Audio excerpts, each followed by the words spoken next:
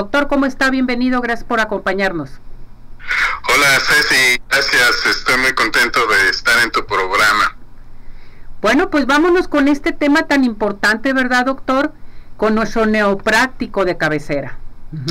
Espolón. sí. O el Sí, espolón. Mira, vamos a hablar un poquito primero de qué es un espolón. O sea, la mayoría de la gente piensa que un espolón es un huesito calcáreo que sale del talón y que es el que produce el dolor, un dolor horrible que hay en los talones. En realidad el espolón lo puede tener muchísimas personas sin que tengan dolor. El problema eh, cuando duele mucho un talón o cuando duele mucho, fíjate, debajo de los dedos, que es un dolor eh, lacerante que ah, como arde, que duele, sobre todo con los primeros pasos del día. O sea, la persona cuando está dormida y se despierta, sus primeros pasos es una tortura y ya después que va caminando empieza a mejorar. Realmente lo que está pasando es que tiene un problema que se llama fascitis plantar.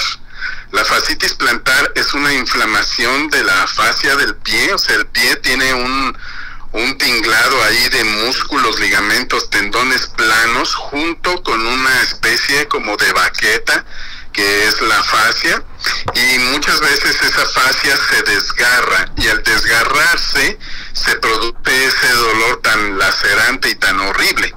Entonces nosotros con, tenemos todo un caminito dentro de la neopráctica, que es una técnica para resolver problemas de espalda y de articulaciones, también podemos resolver ese problemita.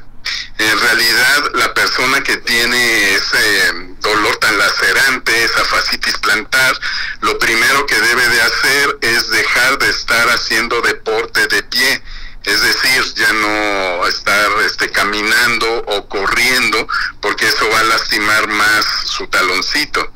Eh, puede hacer algunos ejercicios de estiramiento que ayudan mucho a ir saliendo de ese problema, pero lo primero es dejar que ya no estén haciendo un ejercicio donde estén parados o brincando o corriendo, porque eso aumenta el dolor, el problema. Sí. Es muy importante que también entiendan que muchas veces, en la mayoría de las ocasiones, esa fascitis la causa un par de zapatos o un par de tenis. Pueden ser unos zapatos bien bonitos, carísimos, de marca, pero que algo en la plantilla no va con la persona y entonces los usó mucho tiempo y fue desgarrando esa, esa zona del talón.